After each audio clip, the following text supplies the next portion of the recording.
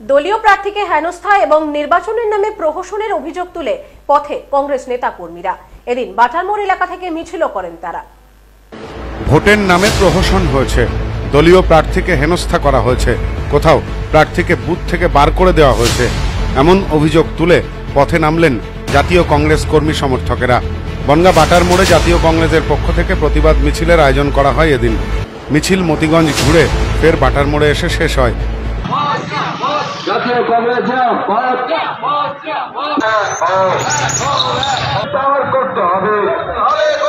গণতন্ত্র হত্যাকারীদের বিরুদ্ধে সমস্ত মানুষরা অধিকার কিছু সমাজ বিরোধী কেড়ে নিয়েছে তাদের কাছ থেকে নিয়ে সাধারণ মানুষের ভোটাধিকার পুনরায় ফেরত দিয়ে বাইশটা ওয়ার্ডে পুনর্নির্বাচন করতে হবে। এ বিষয়ে বনগা শহর কংগ্রেসের সভাপতি সুনীল কুমার রায় বলেন নির্বাচনের নামে প্রহসন হয়েছে।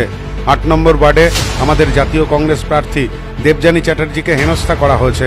ন নম্বর ওয়ার্ডের প্রার্থীকে বুথ থেকে বাইরে বের করে দেওয়া হয়েছে। এক নম্বর ওয়ার্ডে গুলি চালনার ঘটনা ঘটেছে। আমরা তার নিন্দা করছি।